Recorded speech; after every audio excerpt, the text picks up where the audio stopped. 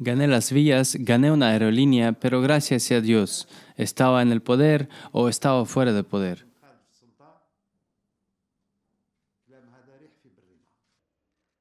Subestimaron las críticas de la gente, no creyeron que algún día serían juzgados por corrupción y malgastar el dinero del Estado. El nombre de la persona puede cambiar y ser Ahmed Uyahya o Abdel Malik Salal o el ministro fugitivo Abdel Salam Bushrub. Y la lista sigue, todos los nombres de los símbolos del sistema Bouteflika, nombres que colaboraron con la personalización del sistema en servicio de sus intereses y la consagración de conflictos de intereses y acumularon riquezas a expensas de la miseria de las personas.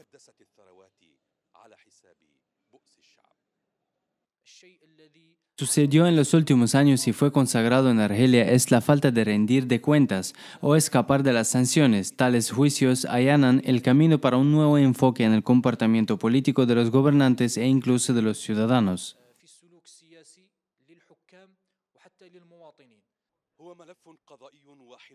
Un solo archivo judicial reveló la dimensión de la corrupción que sorprendió a los argelinos, un archivo de decenas de archivos bajo investigación, en el que los responsables de la toma de decisiones en la era de Buteflika ahora son atados con esposas para investigarlos por otros cargos de corrupción y algunos están a la espera de otras sentencias quizás más severas.